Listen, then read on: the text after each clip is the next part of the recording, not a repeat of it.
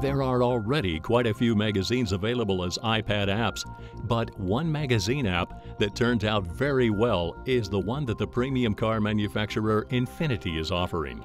An app with total editorial story content equivalent to the full print magazine with approximately 172 pages. Several functions of the app are outstanding and move it far ahead of comparable competitive apps. What's really cool is this animated title picture that even reacts to the user's movements. The list of contents is presented in a full editorial style. The toggle view gives you a very good overview of the whole content. Here you can see a nicely done interview with a Greek olive oil producer. By comparison with other magazine apps, the text is very reader-friendly and can be easily scrolled.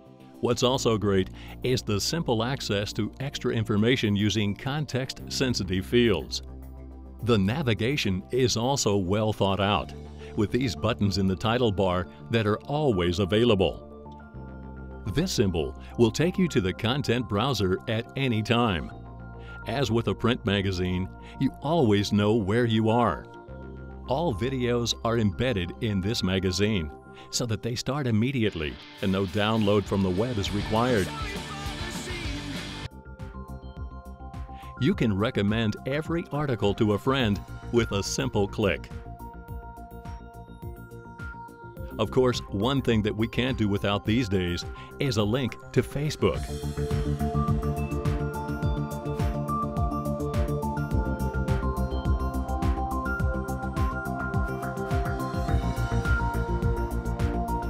The guys who engineered the Adeyaka app solved the embedding of external content in a very intelligent way. For example, PDF documents are embedded seamlessly.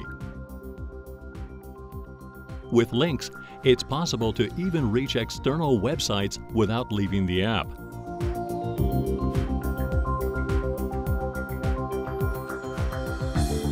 Galleries like this give you a foretaste of how future product literature might look.